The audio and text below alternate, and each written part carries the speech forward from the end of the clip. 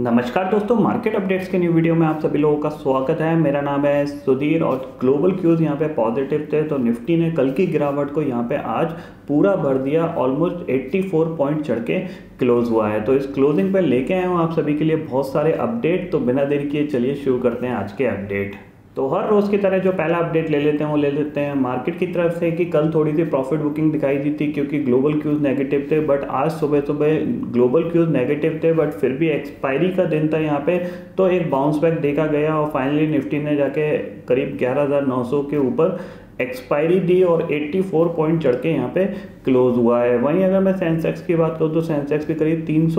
Point चढ़ के यहाँ पे बंद हुआ है। अगर टॉप थ्री गेनर की और लूजर की बात करें तो एन टी रहा, सबसे बड़ा गेनर उसके बाद भारतीय एयरटेल उसके बाद येस बैंक वहीं अगर मैं लूजर की बात करूँ तो आइचा मोटर सबसे ज़्यादा गिरा, उसके बाद सन फार्मा उसके बाद जी इंटरटेनमेंट अगला अपडेट ले लेते हैं, वो आ रहा है यहाँ पे यूनाइटेड स्पिरिट्स की तरफ़ से, जहाँ पे क्यू फोर के जो नंबर थे, वो काफ़ी ज़्यादा कमज़ोर थे तो उन्हीं नंबर के कमज़ोरी की वजह से स्टॉक में करीब चार परसेंट की गैप डाउन ओपनिंग हुई थी बट स्टॉक ने अपने आप को संभालने पे कामयाबी दिखाई और फाइनली हरे निशान पे जाके क्लोज हुआ है। और यहाँ पे जो मैक्वारी का जो कॉल है, वो न्यूट्रल रहा है तो इसीलिए ऑलमोस्ट आधा परसेंट ही ऊपर जाके बंद हो पाया यूनाइटेड स्पिरिट का स्टॉक अगला अपडेट ले लेते हैं, वो आ रहा है यहाँ पे। भारतीय एयरटेल की तरफ़ से, जहाँ पे स्टॉक में करीब ढाई परसेंट के उछाल के साथ कामकाज हो रहा था, और यहाँ जो खबर आ रही है, वो आ रही है यहाँ पे तिकोना डिजिटल को पूरी तरीके से एक्वायर कर लिया गया है यहाँ पे भारतीय एयरटेल द्वारा। तो इसी न्यूज़ पे ये स्टॉक में करीब ढाई परसेंट का उछाल था आज के दिन में। है अगला अपडेट ले लेते हैं, वो आ रहे हैं यहाँ पे टी टी के प्रेस्टीज की तरफ़ से, जहाँ पे क्रेडिट स्विस ने स्टॉक को डाउनग्रेड किया क्यू फोर के नंबर के बाद और स्टॉक में सुबह सुबह करीब दो परसेंट की गैप डाउन ओपनिंग थी बट फाइनली यहाँ पे स्टॉक ने थोड़ी सी रिकवरी दिखा के ऑलमोस्ट फ्लैट ही बंद हुआ है। अगला अपडेट ले लेते हैं, वो आ रहे हैं यहाँ पे वेब ग्लोबल की तरफ़ से, जहाँ पे स्टॉक में करीब चार परसेंट के उछाल के साथ कामकाज हो रहा था, और यहाँ जो खबर आ रही है, वो आ रही है बायबैक को लेकर यहाँ पे कंपनी का अप्रूवल मिल गया है यहाँ पे तो अब कंपनी करीब बायबैक अनाउंस करने वाली है, आगे आने वाले दिनों में।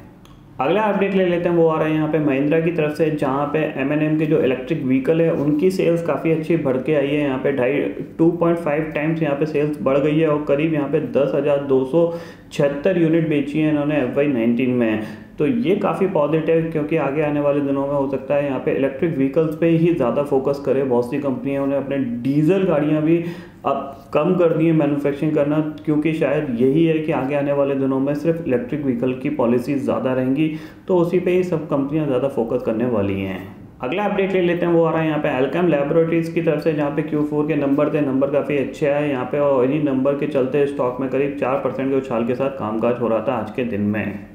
अगला अपडेट ले लेते हैं, वो आ रहा है यहाँ पे गॉड फ्राई फ्लिप्स की तरफ़ से, जहाँ पे प्रॉफिट में फॉल करीब 18 परसेंट का यहाँ पे दिखाया गया है, और 35 करोड़ का यहाँ पे प्रॉफिट आया है। अब देखते हैं कल यहाँ पे स्टॉक कैसा रिएक्ट करता है, क्योंकि इस प्रॉफिट के डिक्लाइन पे हो सकता है थोड़ी सी नेगेटिविटी आती हुई दिखाई दे। अगला अपडेट ले लेते हैं, वो आ रहे हैं यहाँ पे एमएमटीसी की तरफ़ से, जहाँ पे Q4 के नंबर में जो प्रॉफिट में डिप आया है, वो करीब साढ़े आठ परसेंट का आया है यहाँ पे और ग्यारह, साढ़े ग्यारह करोड़ का यहाँ पे प्रॉफिट डिक्लेयर किया है। तो इसी डिक्लेरेशन में स्टॉक में कोई ज़्यादा बड़ा एक्शन नहीं था ऑलमोस्ट फ्लैट ही बंद हुआ है। अगला अपडेट ले लेते हैं, वो आ रहा है यहाँ पे अपोलो हॉस्पिटल की तरफ़ से, जहाँ पे आज नंबर का दिन था और क्यू फोर के जो नंबर आए हैं, उसमें जो प्रॉफिट बढ़ के आया है, वो करीब उनतीस परसेंट यहाँ पे प्रॉफिट जंप किया है ऑलमोस्ट सतहत्तर करोड़ का प्रॉफिट आया है। बट स्टॉक में सुबह सुबह एक मोमेंटम देखा गया था, दो परसेंट का बट ये मोमेंटम पूरे दिन में फिजल आउट होकर ऑलमोस्ट स्टॉक फ्लैट ही बंद हुआ है। तो फ़िलहाल दोस्तों, आज के अपडेट इतने ही थे। आई होप ये अपडेट आपको पसंद आएँगे। वीडियो पसंद आता है तो लाइक और शेयर ज़रूर करिएगा और चैनल को जो सब्सक्राइब कर लीजिए, क्योंकि मैं सुधी लेके आता रहूँगा हर दिन आपके लिए नए नए वीडियो इसी के साथ शुक्रिया दोस्तों जय हिंद।